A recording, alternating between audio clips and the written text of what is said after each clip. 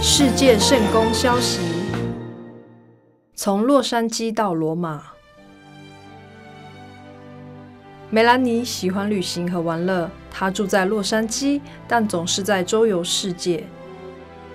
有一天，他在罗马旅行时接到了一通电话，得知他的弟弟兰迪去世了。他感到一切似乎静止了下来。他伤心欲绝地回到家中，并在脑海中不断地思考着。人死后会去哪里呢？为了逃避痛苦，他更加放纵于玩乐，并上表演课来发泄自己的情绪。过了不久，梅兰妮搬到了罗马，在那里追求自己的演艺之路，但随后又回到了玩乐的生活。他每天早上都带着悲伤醒过来，他想知道生命的目的和意义。有一天，梅兰妮在 YouTube 上看到了一段关于但以理和圣经预言的正道。他查看圣经，发现正道所说的都是真的。他立刻跪倒在地，将自己的生命献给了耶稣。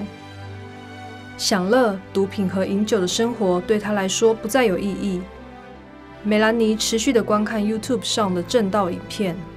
使徒保罗说：“向着标杆直跑。”要得上帝在基督耶稣里从上面照我来得的奖赏。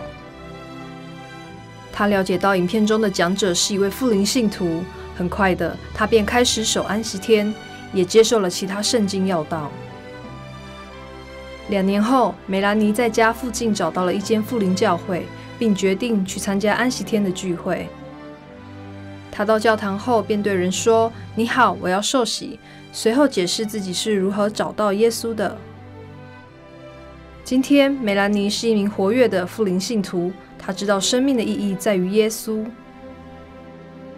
梅兰妮经常在罗马的公车座位上和餐厅里留下教堂的小册子和杂志。他还会在体育馆里放置教会和富林电台分享的小卡片。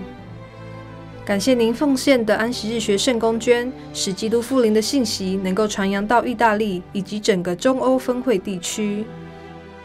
让我们慷慨解囊吧。